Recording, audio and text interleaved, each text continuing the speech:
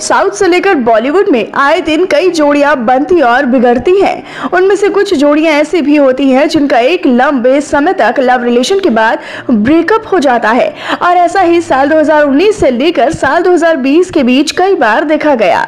इस दौरान साउथ से लेकर बॉलीवुड में कई जोड़ियाँ टूटी गई और एक दूसरे से काफ़ी लंबे समय तक डेट कर रही थी। लेकिन इस दौरान किसी न किसी वजह से उन सभी का ब्रेकअप हो गया और रह गई उन सब की ही लव स्टोरी। बिल्कुल अधूरी।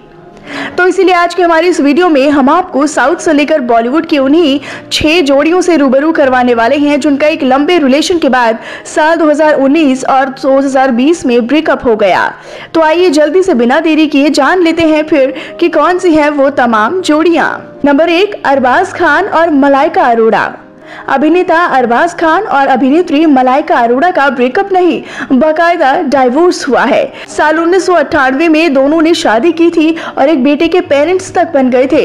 लेकिन शादी के 18 साल बाद, यानी कि साल 2019 में दोनों ने अपने रिश्ते को खत्म करते हुए डाइवोर्स कर लिया, क्योंकि दोनों के बीच के रिश्ते कुछ अच्छे नहीं चल रहे थे, जिसके चलते दोनों ने शादीशुदा होते हुए भी अपने पार्टनर्स ढूंढ लिए हैं, जहाँ अरबाज खान मॉडल जॉर्जिया को डेट करने लगे तो वहीं मलाइका का affair Bollywood star Arjun Kapoor से चल पड़ा। दोनों ही अपने नए पार्टनर्स के साथ काफ़ी खुश थे, इसलिए उनके साथ नई ज़िंदगी की शुरुआत करने के लिए दोनों ने साल 2019 में डाइवोर्स ले लिया। नंबर दो रकुल प्रीत सिंह और राणा दुग्गावती। साल 2019 में आई एनटीआर कथा नायडू फ़िल्म में काम करने के दौरान रकुल प्रीत सिंह और राणा दुग्गवती एक दूसरे के करीब आए और एक दूसरे को डेट करने लगे। दोनों करीब छह महीनों तक लव रिलेशन में रहे, लेकिन छह महीनों बाद साल 2020 की शुरुआत में ही दोनों ने एक दूसरे से ब्रेकअप कर लिया, जिसकी वजह थी एक दूसरे पर शक करना कि दोनों का किसी और के साथ ही लव रिलेशन चल रहा है। उसी वजह से दोनों के रिश्ते में दरार आई और दोनों ही साल 2020 की शुरुआत में ब्रेकअप कर अलग हो गए, जिनसे कुछ महीने बाद राणा ने अपने माता पिता द्वारा पसंद की गई लड़की से शादी कर घर बसा लिया। तो वही रकुलप्रीत सिंह अभी सिंगल हैं। नंबर तीन, यामी गौतम और पुलकित सम्राट।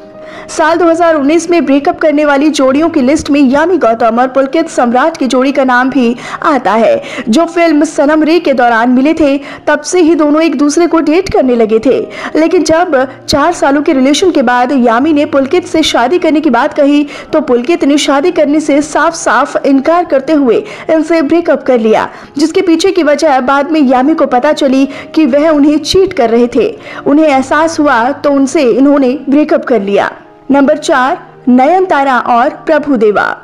नयनतारा और प्रभु देवा का भी साल 2019 में ही ब्रेकअप हुआ था, जो पिछले करीब पाँच सालों से एक दूसरे को डेट कर रहे थे।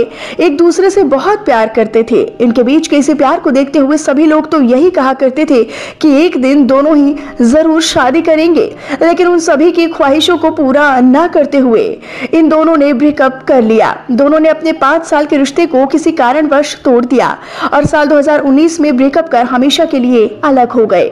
इस बात का सबूत देते हुए प्रभु देवा ने चुपके से दूसरी लड़की से शादी कर ली है और नयन तारा से अपना रिश्ता भी खत्म कर दिया। नंबर पाँच, प्रभास और अनुष्का शेट्टी। साउथ की सबसे प्यारी और मशहूर जोड़ी प्रभास और अनुष्का शेट्टी की जोड़ी भी टूट चुकी है। साल 2020 में दोनों का ब्रेकअप हो चुका है।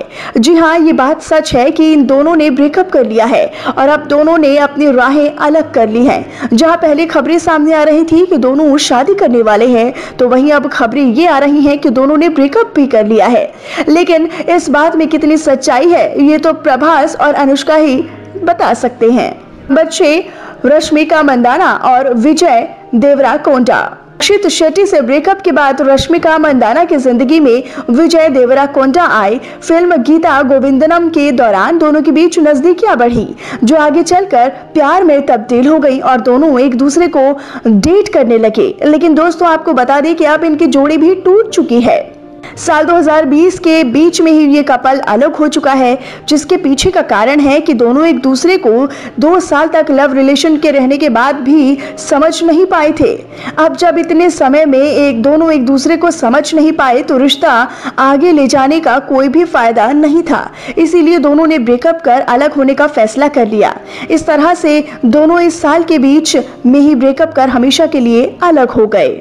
वेल well, दोस्तों आपको इन सभी जोड़ियों में से किस जोड़ी के अलग होने की सबसे ज़्यादा दुख हो रहा है आप हमें उसका नाम कमेंट सेक्शन में कमेंट करके बताएँ और साथ ही फ़िल्म जगत से जुड़ी ऐसी ही मसालेदार खबरों से जुड़े रहने के लिए आप हमारे चैनल को सब्सक्राइब करना ना भूलें।